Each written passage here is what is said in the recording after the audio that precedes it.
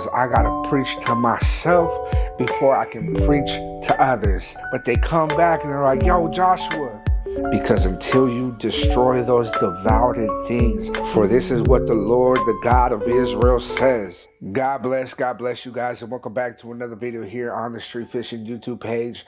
And so I wanted to share this with you guys.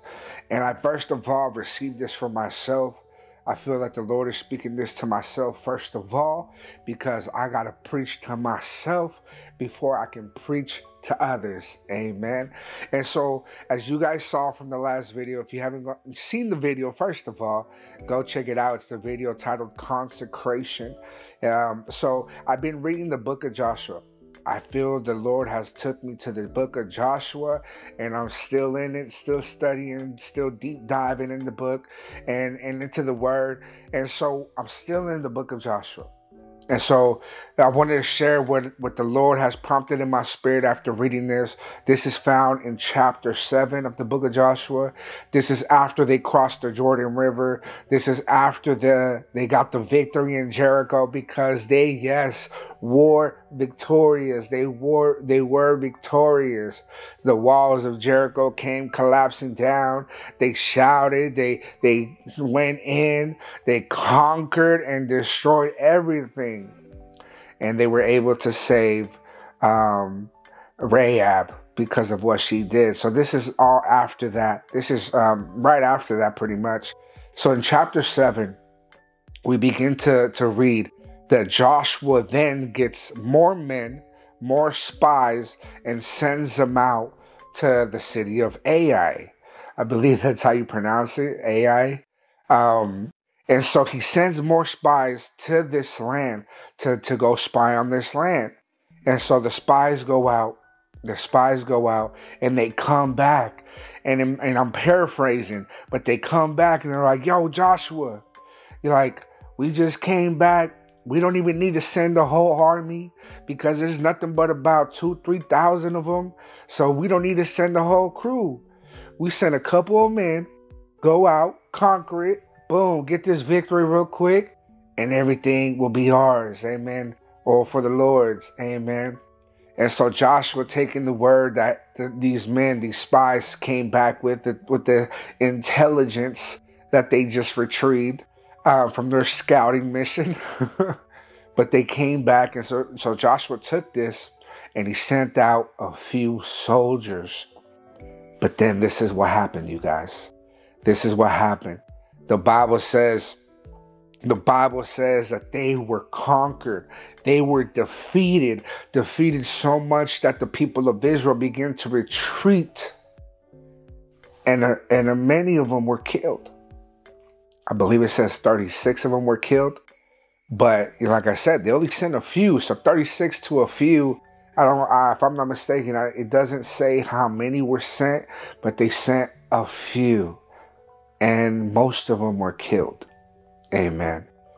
And so then Joshua, Joshua then begins to just kind of rip off his clothes, throws himself on the ground, kind of have a, a grown man tantrum. if you will, and just, why, God? Why? How is it that we, the people of Israel, your chosen people, can be defeated so greatly? How is it? And so Joshua and the elders begin to cry out and ask God, why? Why would you allow us to experience victory? Why would you allow us to experience victory with the city of Jericho? This tremendous, this triumphant, victorious siege against the, the city of Jericho. Why would you allow us to experience such a victory only to be defeated by a smaller, lesser army? Right? And so then the Lord says this Stand up, Joshua the reason why is because the people of Israel has sinned. They have sinned. Because you see, if we go back a couple chapters, when they were about to go into the city of Jericho, the Lord told them, He commanded a few things. And part of those things was to not retrieve or to not keep the devoted things of Jericho, to not keep them. And so then the Lord begins to tell Joshua, You guys have been defeated because not only have you guys ultimately disobeyed God, but you guys have stolen the devoted things. You guys have kept them and put them into your own possession.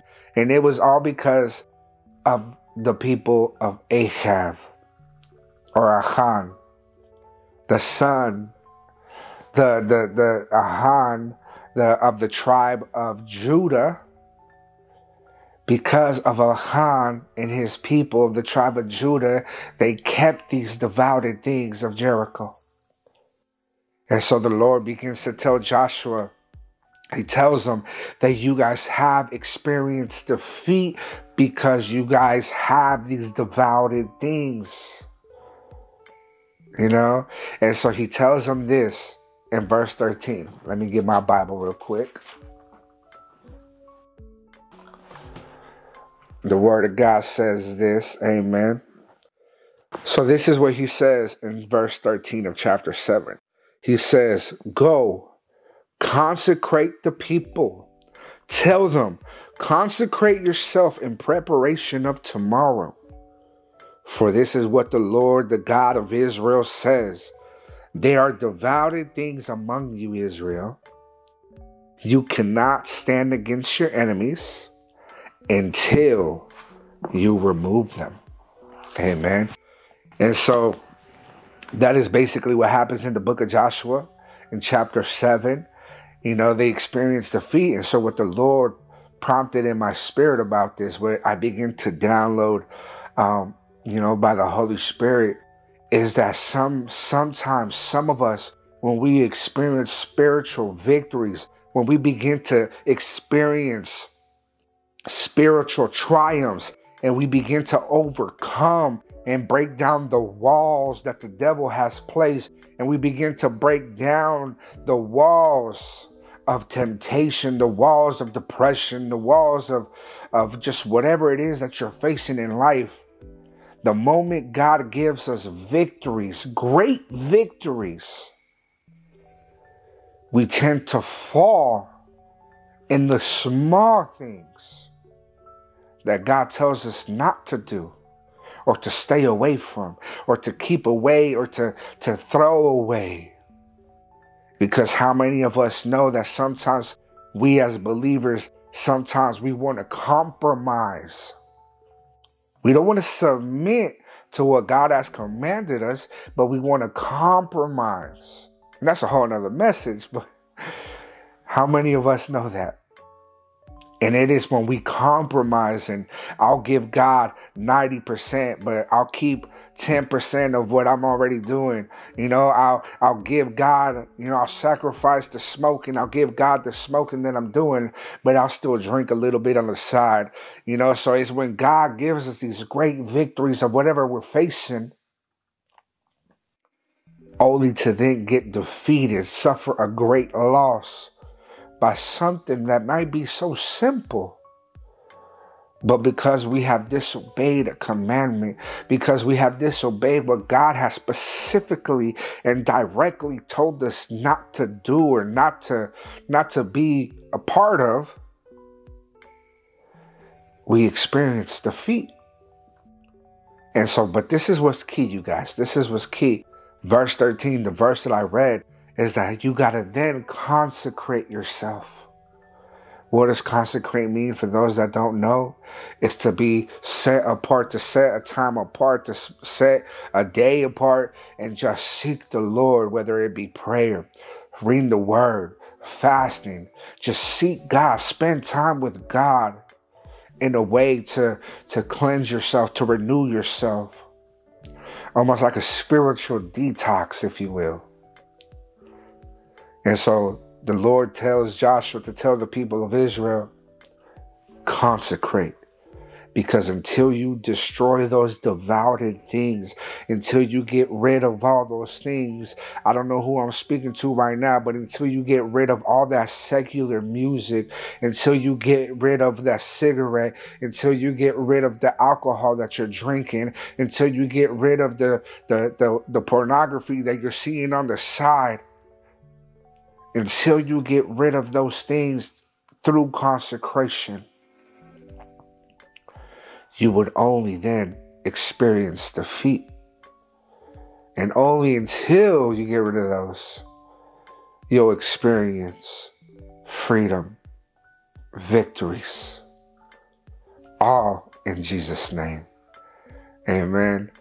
So, thank you guys for watching this video. I end it there.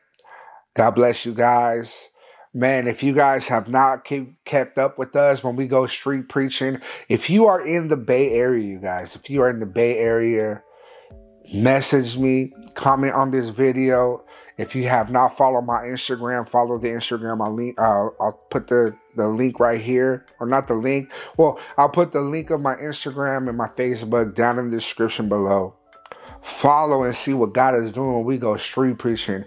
We just went to the city of Vallejo uh, Vallejo, California, this past Saturday, and man, there was deliverance, there was healing, there was people praying for people that gave their life to God, just worship and preaching the word in the streets of Vallejo, California. The Monday prior, we went to Stockton, and man, God moved out there. So keep in touch, you guys. Comment, like this video, share if this has been a blessing in your life. And I'll see you guys in the next one. God bless.